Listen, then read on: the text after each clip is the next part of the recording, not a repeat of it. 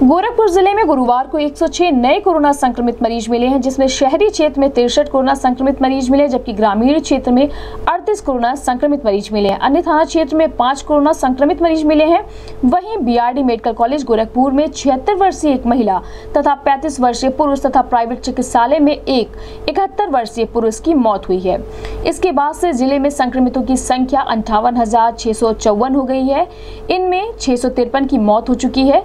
पचपन लोग स्वस्थ हो चुके हैं, जबकि एक्टिव केस 2417 हो गए हैं।